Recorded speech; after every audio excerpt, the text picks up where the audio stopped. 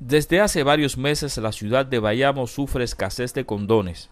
Sobre este problema y sus implicaciones, residentes de la ciudad monumento comentaron a las cámaras de Palenque Visión. Enfermedades, embarazos no deseados, complicaciones para los jóvenes, que son los más irresponsables.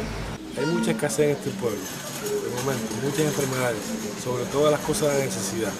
La necesidad ¿qué hacen? Las mujeres hagan por ahí el dinero que tanto sexual buscan la comida.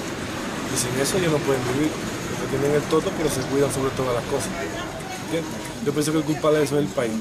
Una mujer por ahí tiene que ir por ahí a los catros, caerle atrás a los que venden por ahí a 5 pesos para una cajita con ¿Sabes lo que es? Sin embargo, la población no entiende que en las farmacias falten condones y los revendedores tengan para revenderlos a sobreprecio. ¿Cuánto cuesta un condón en la calle? Cinco pesos vale un condón en la calle. ¿Uno solo? Uno solo, cinco pesos. ¿Y la cajita?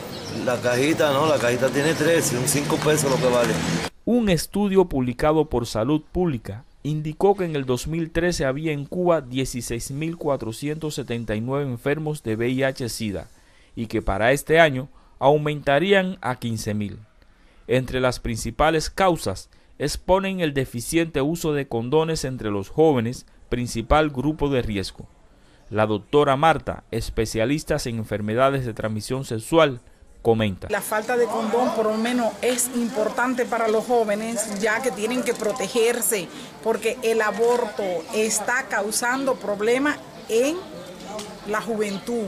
Por tanto, es un gran problema y tienen que resolverlo. Eso tiene que resolverse ya.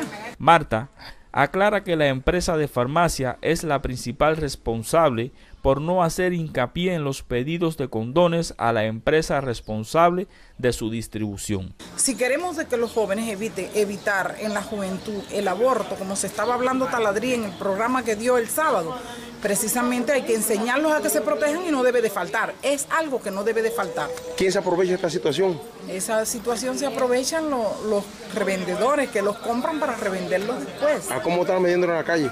Lo están vendiendo a cinco pesos en la calle.